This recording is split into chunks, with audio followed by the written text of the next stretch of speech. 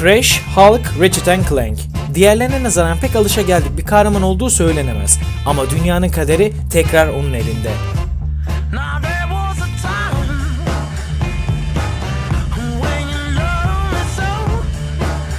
Oyunlarındaki farklı oynanırlık ile çoğu zaman DualShock'un, çoğu zaman ise PlayStation 4'ün sınırlarını zorlayan Japon stüdyo 2013'te çıkartmış olduğu oyunu Neck'in şimdi de 6 Eylül itibariyle ikinci oyunu ile karşımızda. Neck'i tanımayanlar için özet geçmek gerekirse bünyesinde Crash Bandicoot ve Spyro gibi efsane yapımların yaratıcılarını işlerinde barındırmış, çeşitli bulmacaların, istilacı goblinlerin, birbirinden farklı düşmanların olduğu aksiyon, macera ve platform oyunu.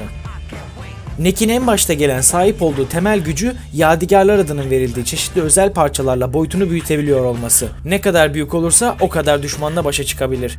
Tabi bölümlerin çoğunda küçük olmamızın avantajlarını da kullanmamız gerekiyor. Tünellerden, yer altından, yürümek için dar olan yerlerden geçmemiz gibi. Güçlerimiz sadece bununla da kısıtlı değil. İlerledikçe topladığınız puanlarla sahip olduğunuz yetenek ağacından istediğiniz yetenekleri seçip istediğiniz komboları yapabilirsiniz. Ve son olarak da eğlenceyi ikiye katlamanızı sağlayacak olan co-op özelliğiyle bu maceraya arkadaşlarınızla dahil edin. İki kişi oynarken oyunu bölmeden istediğiniz zaman dahil olabilir, istediğiniz zaman da ara verebilirsiniz.